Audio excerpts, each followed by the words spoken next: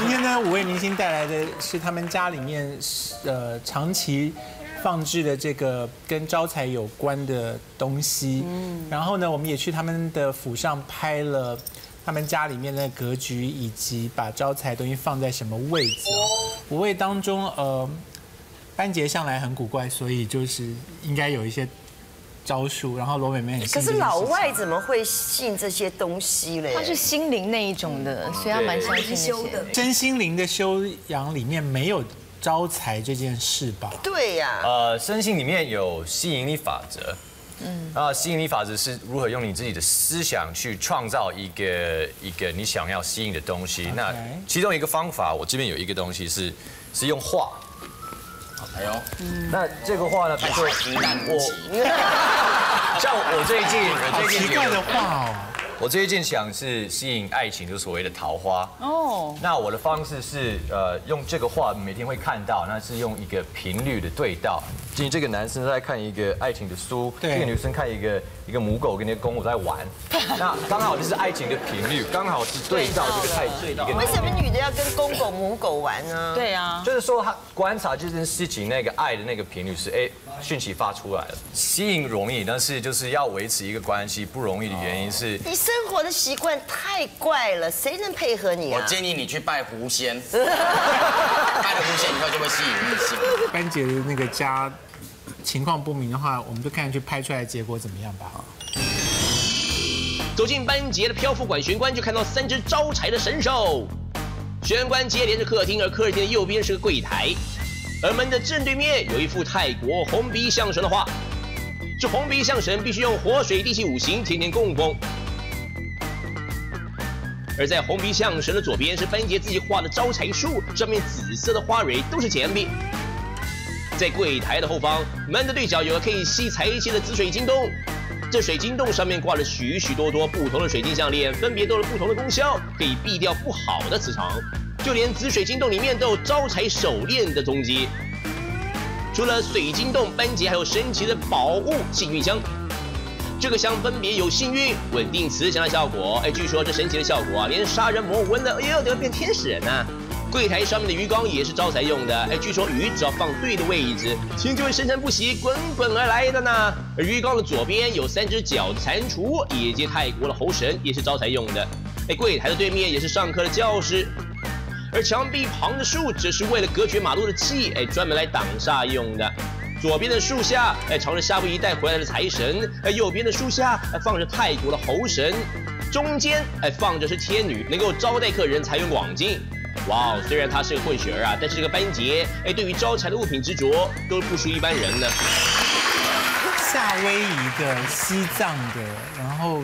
印度、印度的、基督教的都，还有印第安的。那你是怎么样？你是上网去搜哪一每一个文化里的财神是什么吗？其实因为我是八国混血，然后这个八国啊，八国，八国，所以变成说我很多祖先的他们的宗教我会去研究。同时放那么多，你就没办法知道是哪一个在发挥作用哎。所以就是要回到人的本我。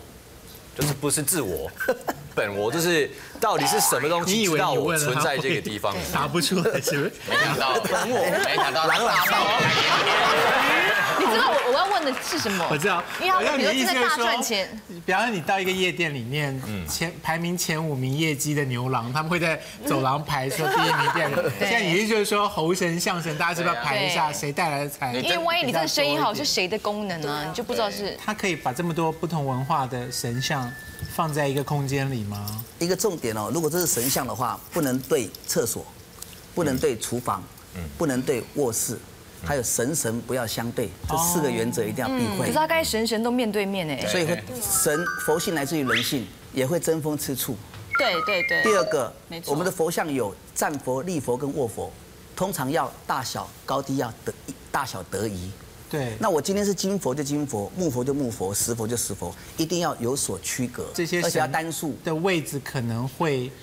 不高兴，彼此排的顺序。所以现在可能猴神跟象神彼此在生气。吵架，黑喜瓜该帮忙的，不是你，不是黑喜瓜该倒帮忙的，吵架。象神会给会给猴神喷喷水，猴神抓他，抓他，为什么你们两个对白一样？我有跟大丹老师那个默契很好你已经被摸透了吗？差不多。班杰刚才那个平面图呢，是他的房间的格局，漂浮室旁边是浴室，然后又是漂浮室，你有两个漂浮室，都是给客人用的嘛，是不是？对，没错，卧房间教室，所以睡觉就睡在教室那个空间里。没错，没错，有这个屋子长得跟一般的好不同哦，这个图其实好像少了很多。后面还有一个厨房跟衣柜，然后有一个写班节是什么意思？入口。那 就是这张图是班级，不是那个房间 叫做班级。对，它是走廊。所以等会也会有沈玉琳，是不是？对对对，每个人都有。除了一张画之外，你还带了一些东西来吗？这是招财的这是招财的那个宝盆。